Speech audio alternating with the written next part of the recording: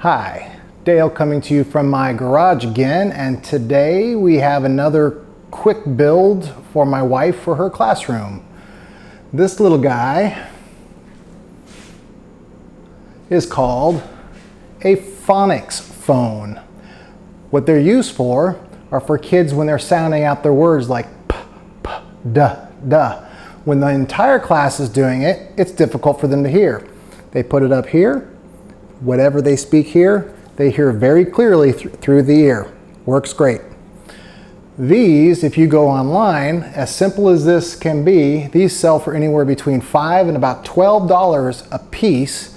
One place had them for about 7 bucks, and then exactly this was another $9 for shipping and handling. So the only thing I can assume is the shipping went the long way around the earth to cost seven, eight, nine bucks to ship this. So I'm gonna show you how to make these, not for six or seven or even 12 bucks a piece, but I'm gonna make 10 of them for under 10 bucks. Grab the 10 foot section of three quarter inch PVC you got at the big box store. You're gonna start by measuring off four and a half inches. There's multiple ways to cut PVC. I'm going to show you a few. You can use a coping saw. The coping saw cuts just fine, but it does leave kind of a messy end, which you're going to need to sand off later. You can use a hacksaw. Much like the coping saw, goes through the PVC quite easily, but leaves a messy end, and again, you'll have to sand it off. There's a tool specifically made to cut through PVC piping. It works on a ratcheting system and it's quite easy to cut through and makes smooth cuts. This is fine if you only need to make a couple cuts, but I've got several, so I need a faster way. Miter saws make quick work of PVC and leave a very smooth end. The table saw with a sled is another fast and efficient way to cut through PVC piping it also leaves a very smooth end, but with a 10 foot section of PVC piping, it hangs off the end a little too far, making this not really the best choice. So it's back to the miter saw we go. In this situation, it really is the best choice. Set up a stop block at four and a half inches, and you can move through this really, really quickly. Oh yeah, depending on your skill level, there is one more way.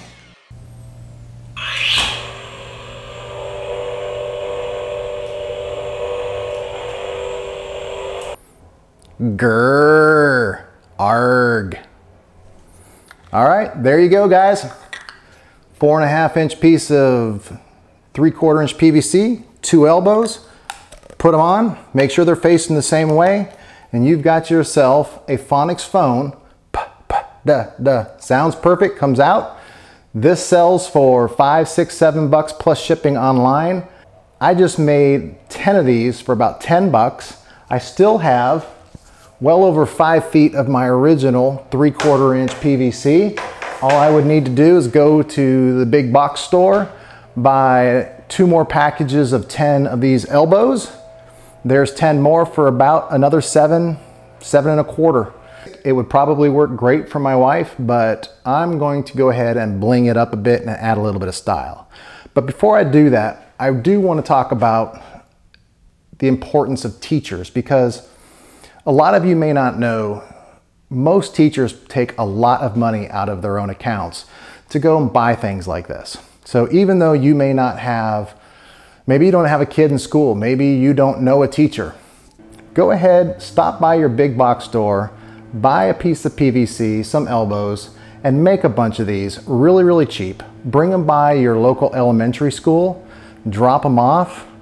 The teachers there are going to be very appreciative and who knows, it might just be that gesture that finds the person that's right for you. I'm bringing love to YouTube. You're welcome. All right, on to stylizing. The first thing I want to do is get rid of all these protrusions on the elbows. I know it's not a big deal, but I don't like it. This includes the manufacturer, SKU number, model number, whatever else is stamped on these elbows. Sanding all this off the elbows was a bit tedious. I tried first starting with a belt sander at 60 grit paper and working my way up. But really what I found that works best is simply using my orbital sander with 220. It did take a little time, but it was able to grind all those protrusions off and leave it smooth. There's all sorts of ways to add a little bling and a little style to these. You can paint them, you can hand draw on designs. I'm using some rainbow colored duct tape that I found. It would have been better if it was much wider duct tape, so I would have only had to go around the handle one time. But my wife likes this, so there you go. Wife's happy, I'm happy. So all I do here is take some duct tape and I wrap it around the handle. I need to go around it twice to cover the entire handle. Notice that I'm leaving between a quarter inch and a half inch on each side of the handle. This is so I can add a little dabs of glue so the elbows can be attached permanently. Because those students, if they can remove something, they will. Time for some painting. I had this blue spray paint in my garage, so that's what I'm going to use. I know I've said this before, but I'm saying it again. I really, really do not like painting. I'm sure I put too heavy of a first coat on, didn't wait long enough for the second coat, but this stayed tacky, and even after a couple days, it was still tacky. I found a tip on YouTube. I'm sorry I don't remember the channel, but rub some baby powder over it and then wipe it off with a damp cloth. And what do you know? It worked. Tackiness went away immediately.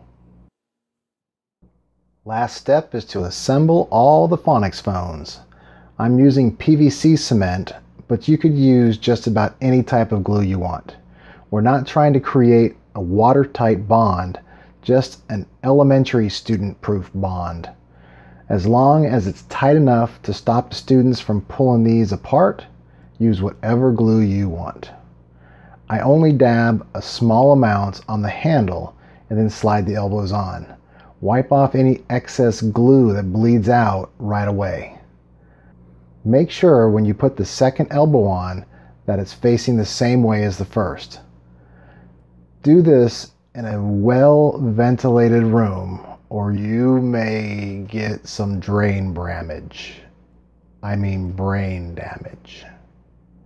Yeah.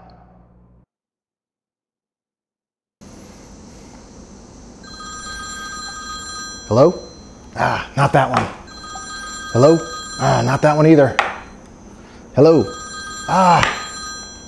Hello? Oh, Mr. President, you're gonna have to hold on. I got a YouTube video to finish. I'll talk to you later. All